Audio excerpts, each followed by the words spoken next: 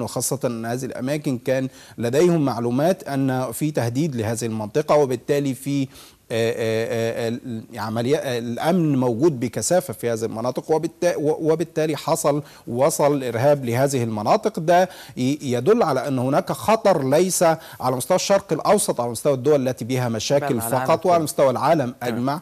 أبطال هذه الدول. عشان كده كان لابد إنه تتحرك الدول أجمع لإنه قضية الإرهاب ما أصبحتش قضية تخص منطقة معينة أو دولة معينة أصبح يهدد العالم وبالتالي كان لابد طيب. أن تكون هناك هناك إجراءات من هذه الدول بتخص دول الغرب ودول الشرق للقضاء على تمام. هذا الأمر وصلت الصورة تماما. فضل. خلينا نروح لخبر تاني وتقرير عملاه المجلة عن المتابعة المحلية للتعاون الاقتصادي ما بين وزراء البترول في مصر والأردن والعراق من خلال عقد جلسة مباحثات موسعة لدعم مسيرة التعاون المشترك في الأنشطة كافة في خصوصا أو خاصة في إطار أهمية التفعيل للتعاون الإقليمي بين الدول الثلاث وحزمة من المشروعات بين مصر والعراق والأردن في البترول والغاز يعني أهمية إجراء المفاوضات وأهمية يعني تصورات واتفاقيات تعاون ما بين الدول العربية المختلفة.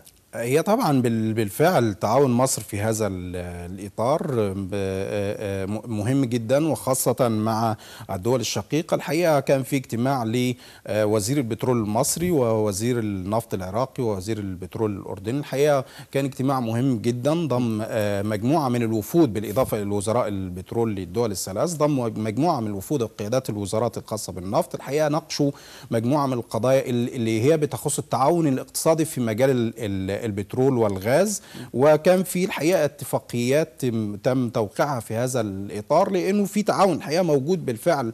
بقالوا لكن الجديد إن هم بدأوا يعملوا خطوط جديدة تربط بين العراق والأردن ومصر الحقيقة ل العراق طبعا دولة مصدرة ثالث دولة مصدرة للبترول في العالم وبالتالي خروج البترول من العراق مرورا بالأردن ومرورا بمصر الحقيقة ده كان في خط موجود دلوقتي في خط جديد. الحقيقة عندنا في مصر الحقيقة في حاجة كويسة جدا. معامل تكرير البترول بشكل قوي جدا. وبالتالي بيجي عندنا البترول خام ونبدأ نعيد تكرير, تكرير البترول ونصدره مرة أخرى. وهذا التعاون موجود وبشكل قوي جدا. يكون قائم طبعا أكيد في آه. الأيام اللي جاية. أستاذ صلاح خلينا نروح للصفحة الخامسة وبنكشف فيها عن تقرير أو تقرير بيكشف فيه المجلة أعدته عن غموض مقتل الشاب الإيطالي ريجيني وده القضية تناولتها بعض الصحف المحلية والأجنبية حتى الصحف الدولية كمان وبتقول كمان أن الشاب الإيطالي نجحت أجهزة الأمن في فك اللغز وذلك من خلال قيام قطاع الأمن العام بتصفية أفراد العصابة اللي تخصصت في خطف وسرقة وقتل الأجانب ونجحت كمان أجهزة الأمن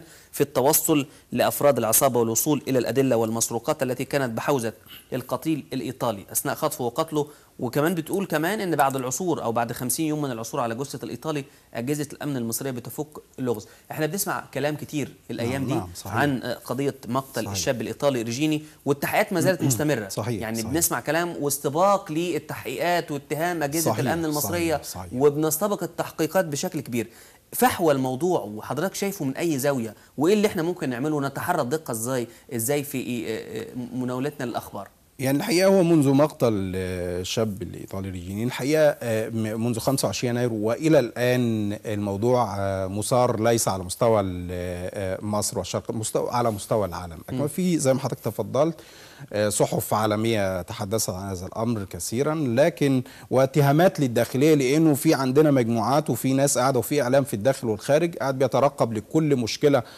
ممكن تكون بين مصر ودولة ثانية الحقيقة لتوتر العلاقات اللي موجودة بين مصر وده الحقيقة بيعمل ارتباك للجانب الأمني المصري. الحقيقة لو الجانب الأمني المصري بيشتغل بشكل بشكل زي ما هو بيشتغل وبشكل فيه ثقة الحقيقة مش هتحصل أي مشكلة. لما حصلت في الفترة الأخيرة التصريحات اللي أدلت بيها وزارة الداخلية بأنه إحنا عندنا معلومات بتؤكد أنه العصابة اللي تمت اللي قتلت الشاب الإيطالي موجودة وتم تصفيتها آه كان في تصريحات لأنه الجانب المصري أو جانب الأمن المصري أراد أن آه يوضح للعالم أنه الجانب الأمن المصري حريص على أنه آه على أنه التحقيقات تمشي ونكتشف الجاني الحقيقي في هذه الحادث اللي أثار الكثير من المشاكل. لكن آه، آه، تصريحات وزارة الداخلية آه، جت بشكل الحقيقة كان في آه، آه، قبل تحقيقات النيابة وقبل ما يكون في آه، معلومات دقيقة ومؤكدة نطلع بالموضوع بشكل كامل في آه، بيان للداخلية أو المتحدث باسم الداخلية اتكلم عنه.